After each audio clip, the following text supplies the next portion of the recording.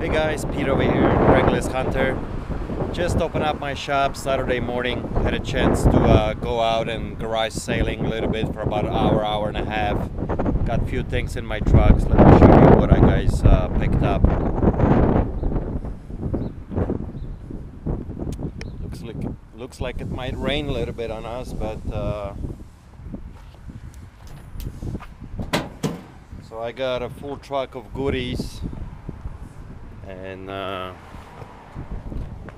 actually more stuff in here in the back. Let me uh, let me unload everything, and uh, then I can uh, show off what I picked up.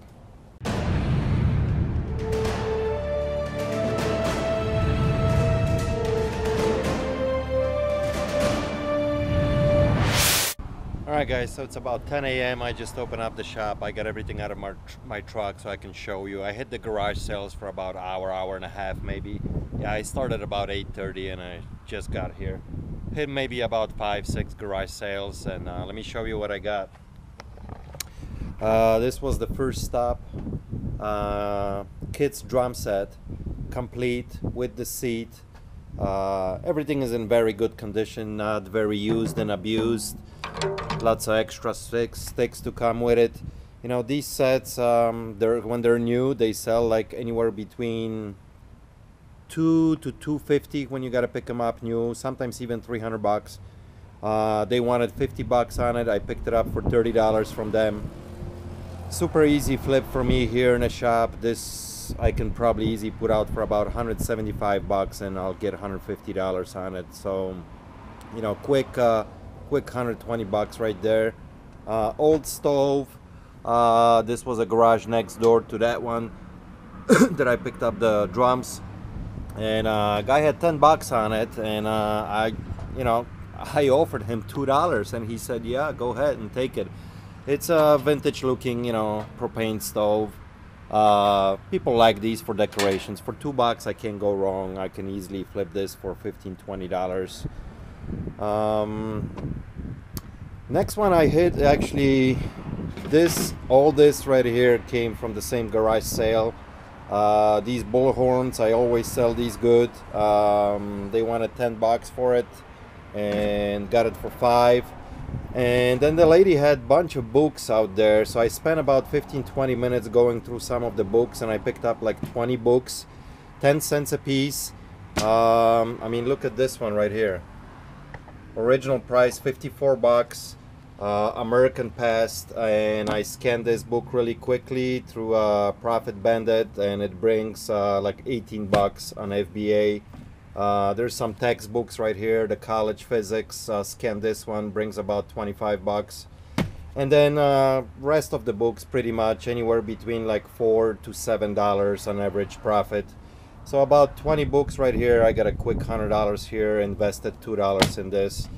Couldn't pass on on this sucker. John Wayne collection, uh, sealed, brand new VHS tapes. Uh, don't sell for a whole lot, but on FBA I should make, you know, $10 or so. So that was an easy pickup. Then this part right here, the Technics uh, CD changer and excuse me, motorcycle chaps and a leather jacket. Came from one garage sale. He wanted eight bucks on this uh, changer. This is for uh, 110 CDs. Uh, they're not super hot, but not many people are selling them. Um, you know, wanted eight dollars. I got it for five bucks. Comes with the manual, remote control. I can get easy uh, 50 bucks on eBay out of it, no problem. Uh, maybe even a little bit more. Uh, the chaps, very good condition, 100% uh, leather. Um, wanted $20 for it and then a very nice uh, biker's leather jacket uh, with one patch on the side here. And it's a it's a double X so it's a big jacket. Decent company Leather King. He wanted $30 I got both of these for 30 so like 10 bucks on a chaps and 20 bucks on a jacket. I can sell this jacket in my shop all day long for about 80 to 100 bucks and chaps probably about 30 40 dollars. So that was a good uh, good pickup right there. Now these two things the Marilyn Monroe picture which is a good size I mean it's a huge picture. Uh, lady wanted uh, 25 bucks and she had these brand new uh, glasses uh, never opened.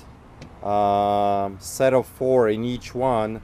She wanted 12 bucks for both of them. They come from um, Crate and Barrel um, and I scanned this through Profit Bandit and FBA um, I should make $40 on each. Crate and Barrel sells these for uh, $56 a piece and I picked them up both for 10 bucks from her.